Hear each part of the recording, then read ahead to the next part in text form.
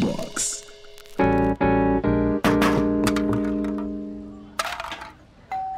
Te toca abrir a ti. Yo ya fui al funeral de tu padre. Joder, lo llego a saber y yo también voy al funeral.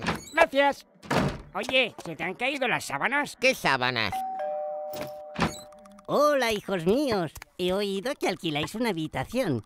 Me llamo Gandhi. Bueno, Randy. Gandhi. Eso, Randy, el alquiler son 400 euros. Eso te da derecho a pisar este suelo, a respirar y a comer toda la carne de paloma que seas capaz de cazar aquí dentro.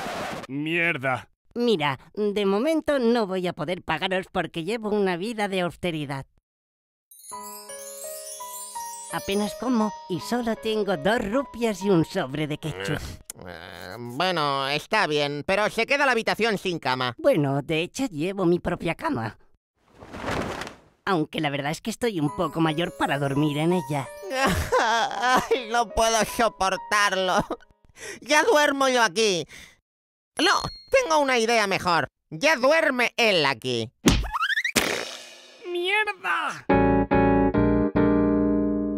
Oye, no me gusta nada este Randy. No paga y se zampa todo lo que hay en la nevera. Ayer se bebió mi análisis de orina. Hola, aquí tiene 180 pizzas de curry, 215 pizzas de cilantro y unas trufas.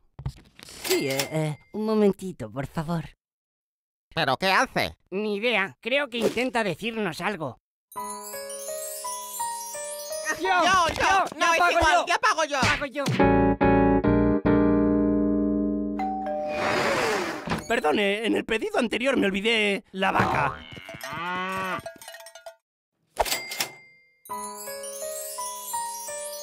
De acuerdo, señor. No hace falta que me pague.